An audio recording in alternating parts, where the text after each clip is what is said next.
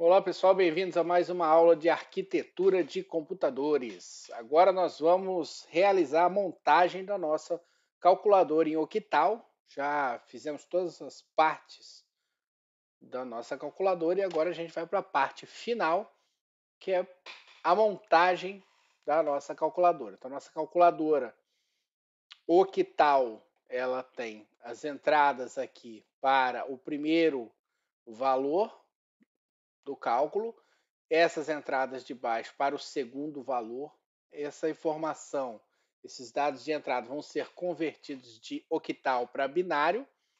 Tá? Então, uma vez que o, um desses, dessas entradas foi clicado aqui, vai ser convertido para binário, é, 3 bits. Isso vai entrar numa unidade lógica aritmética. Aqui a gente tem três unidades lógicas aritméticas de 1 bit, mas a gente vai construir aqui uma ULA de 3 bits.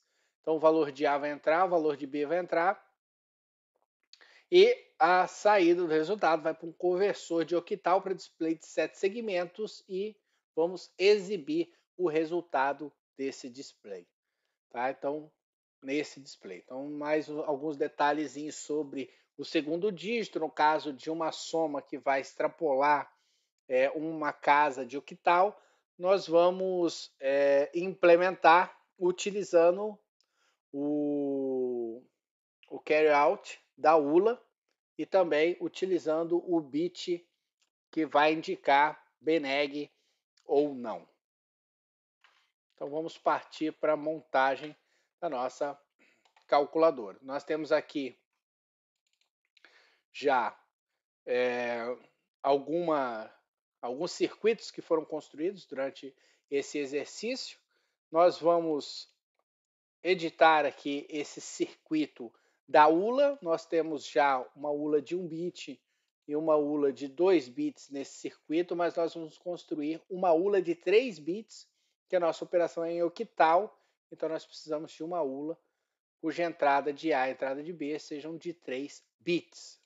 Então, para isso, nós vamos adicionar um circuito, vamos chamar de 3 bits.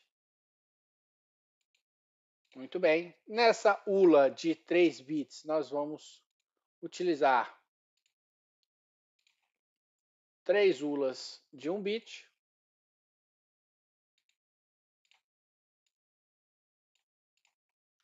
Vamos colocar uma entrada de 3 bits para A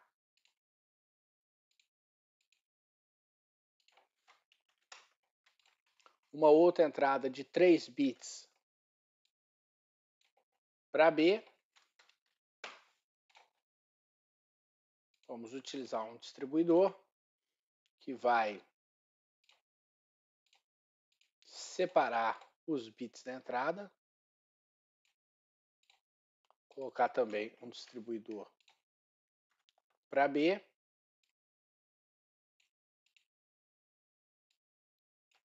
Aqui nós temos o bit menos significativo, sai na entrada zero do distribuidor. O bit menos significativo na entrada zero do distribuidor. Então nós vamos puxar a entrada de B, B0, para esta ULA de um bit e A 0 para essa primeira ULA A0 e B0.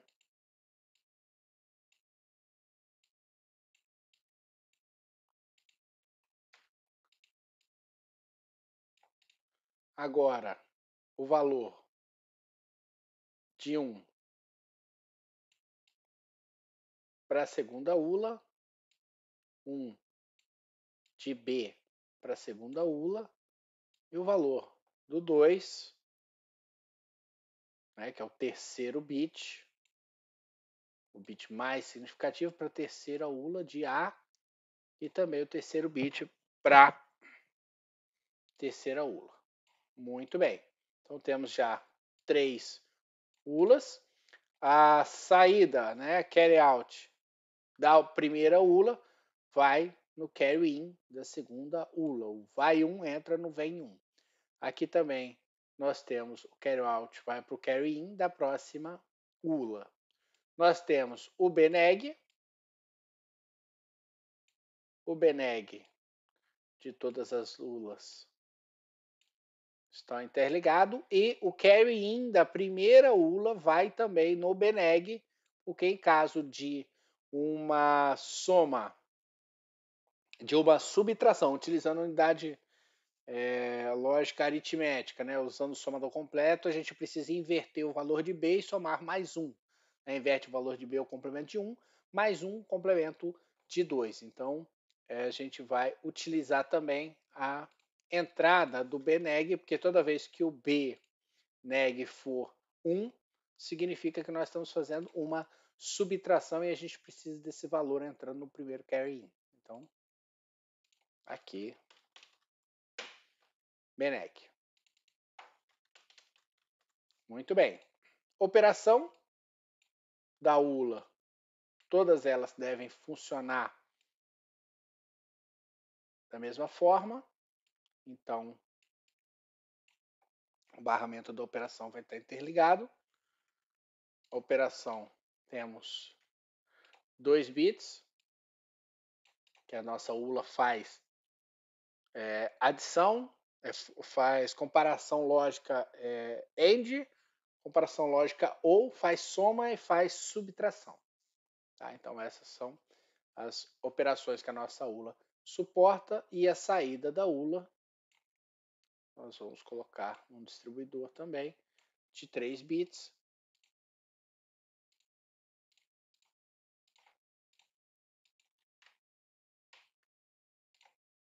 E vamos interligar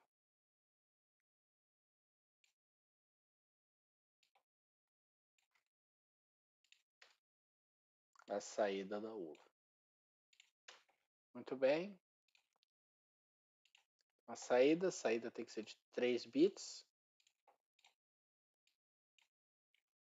Pontinho A, B e S saindo. Faltou só o carry out.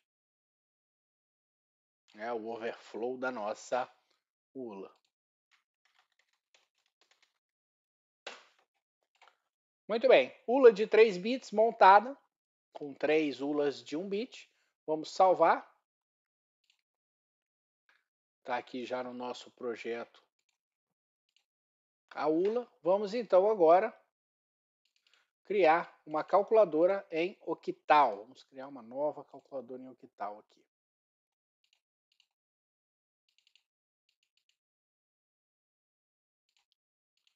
Novo, salvar como, vamos colocar aqui é, Dentro de exemplos, calculadora, calculadora em octal.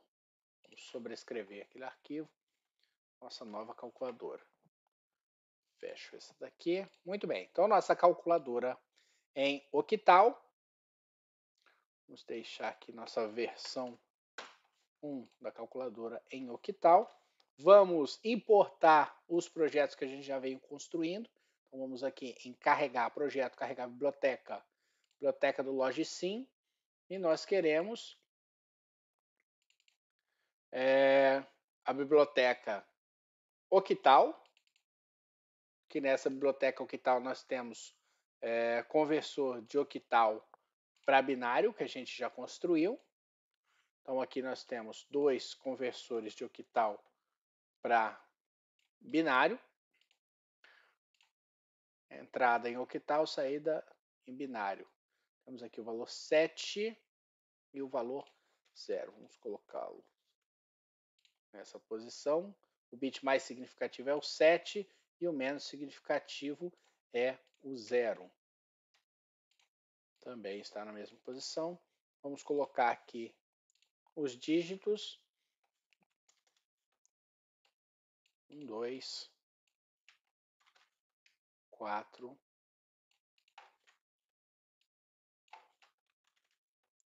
oito dígitos, nosso valor em octal.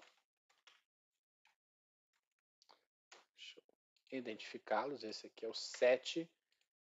Vou colocar aqui na posição sul, esse aqui 6, todos na posição sul do rótulo.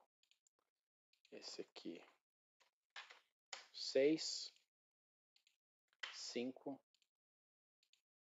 4, opa, 4, 3, 2, 1 e o zero. Tudo bem? Esse é o primeiro valor, o valor de A. E aqui nós vamos colocar o valor de B. Vamos interligar os botões com o nosso conversor. Então, nós temos aqui o zero. Desligar o zero, o um, o dois, o três, o quatro, o cinco, o seis,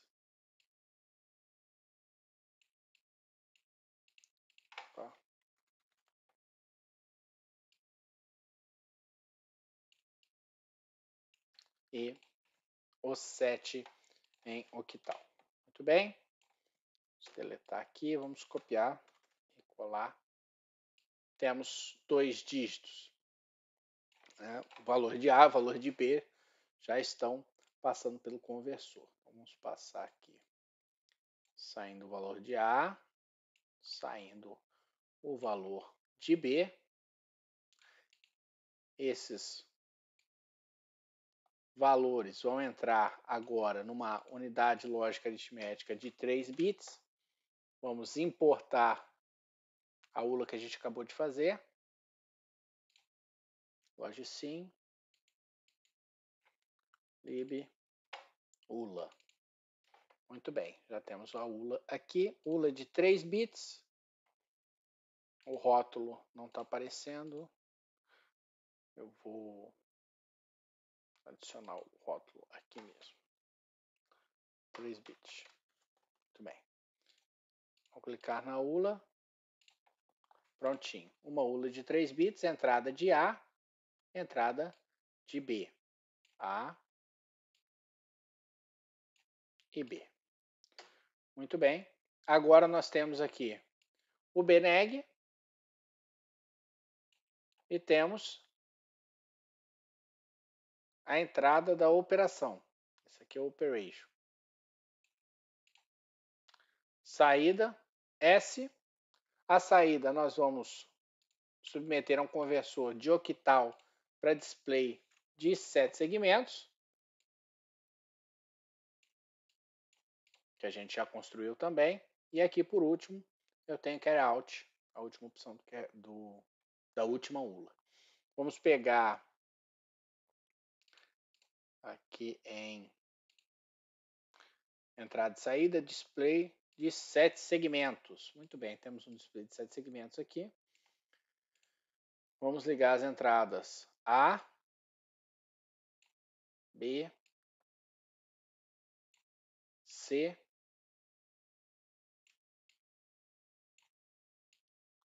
D,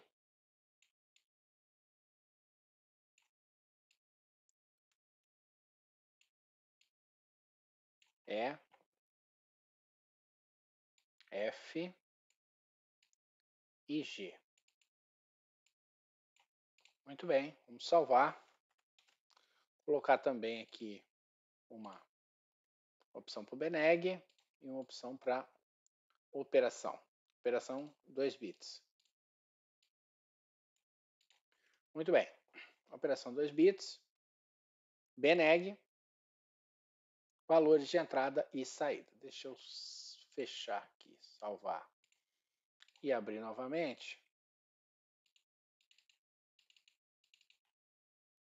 Pronto, agora já abriu certinho. Ah, deixa eu alterar aqui dentro da lib ULA para que fique aparecendo na ULA 3 bits.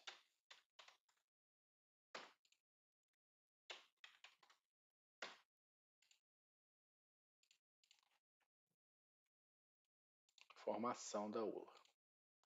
Salvar. Prontinho. Exemplos, calculadora em octal. Agora já aparece ULA de 3 bits. Muito bem, então vamos fazer um cálculo aqui em é, octal. Lembrando que a unidade lógica aritmética, ela possui é, 00 é igual a AND, lógico, 0, 1, OR,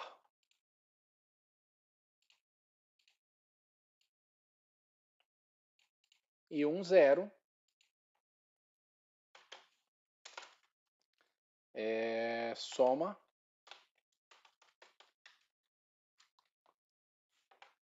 Um zero é soma a nossa unidade lógica aritmética. Então aqui dentro da operação, seleção da operação, nós vamos marcar um zero, porque é uma soma. E quando for subtração, nós vamos colocar o Beneg como 1. Então, Beneg. E agora, 7, 6, ela está reconhecendo todos os caracteres.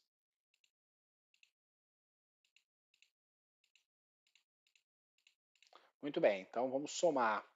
Está né? Tá na operação soma. A Beneg valendo zero, então é só soma mesmo. 2 mais 3. 2 mais 3, 5. Nossa calculadora está funcionando. 3 mais 4, 7. Nossa calculadora está funcionando. 4 mais 4. Aí nossa calculadora já é, extrapolou a quantidade de bits que podem ser é, de caracteres, né, em hexadecimal que pode ser representado, que é 4 mais 4. Em é, octal vai dar um zero, né? Porque vai de 0 a 7, o próximo dígito é um zero. Para isso, nós temos então que colocar mais um display de sete segmentos para representar esse bit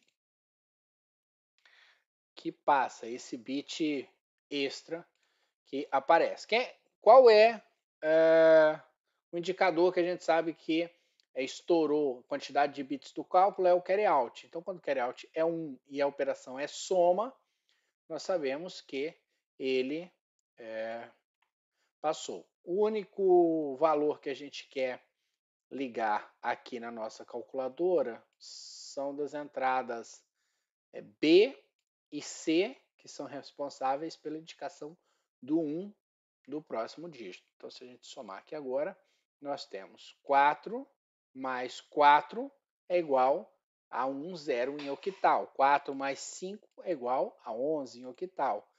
5 mais 5 é igual a 1, 2 em octal. Opa, 5 mais 5 igual a 12. 6 mais 6 igual a 14 em octal. 7 mais 7 em octal igual a 16. Muito bem, então a gente está conseguindo representar a soma corretamente. Agora vamos para a subtração. A subtração, né, dentro da operação da, da ULA, a gente continua marcando um zero e o BNEG valendo 1. Então, isso vai indicar uma subtração. Subtração de 7 menos 5 dá 2. Só que agora ele está indicando 1, 2. Por quê? Porque é uma subtração. É, o, o bit mais significativo na saída aqui da ULA de 3 bits é 1 indicando overflow.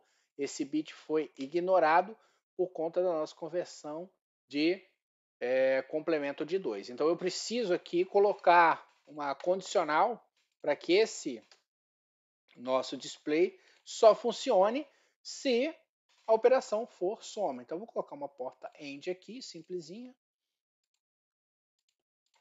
com duas entradas. Então, só vai ser verdadeiro se a operação for é, for soma e só se a operação for soma e nós tivermos aqui um estouro de, de pilha aqui, um overflow. Então eu vou marcar esse overflow para cá. E eu quero somente se for soma. A soma, por padrão aqui na nossa nosso cálculo, é zero. Então eu tenho que negar a segunda entrada aqui. Então vai ficar negada. E agora sim eu consigo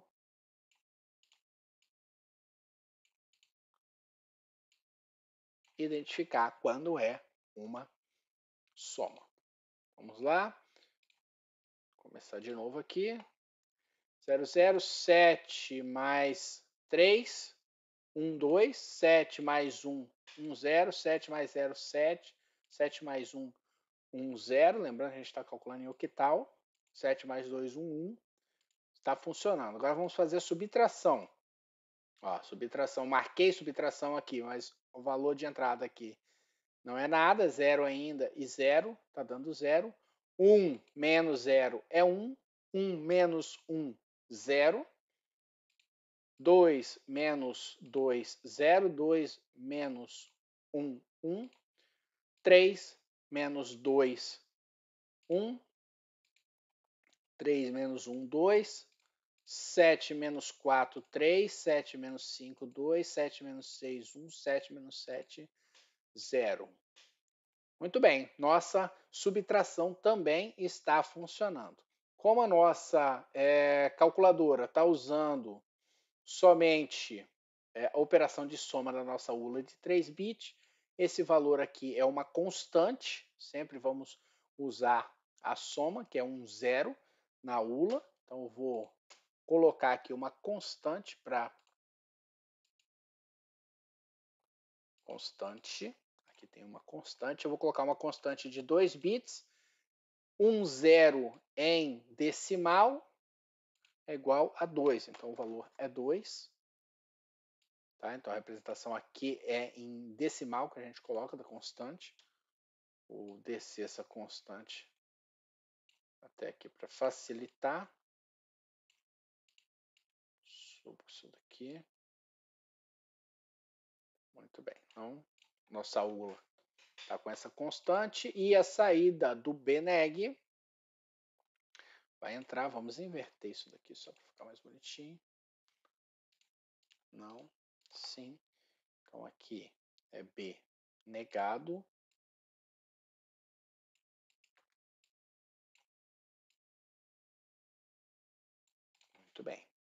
E aqui, nossa calculadora. Será?